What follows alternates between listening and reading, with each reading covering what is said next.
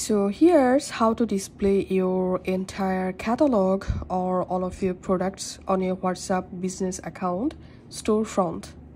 So first of all, make sure to install the WhatsApp business app on your phone and open the WhatsApp business app and sign into your WhatsApp business account. Now tap on these tools at the bottom right and here tap on catalog and here you will find all of your uploaded products and catalogs.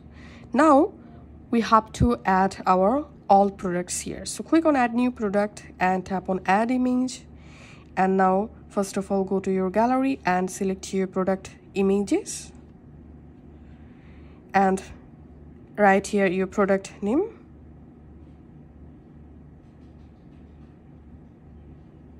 And write here your product price. You can write a description here and then tap on save.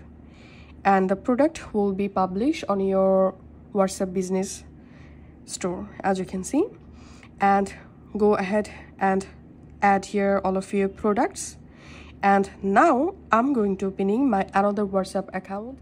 So here so right now i'm on my another whatsapp account and here is my whatsapp business chat. I'm going to opening this chat and here we can see the store front icon. So just tapping on the store front icon.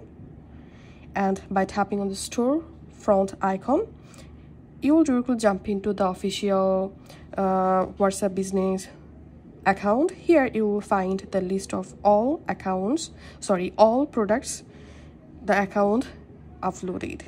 So now from this list you can just tap on the product and you can tap on add to cart and tap on view card.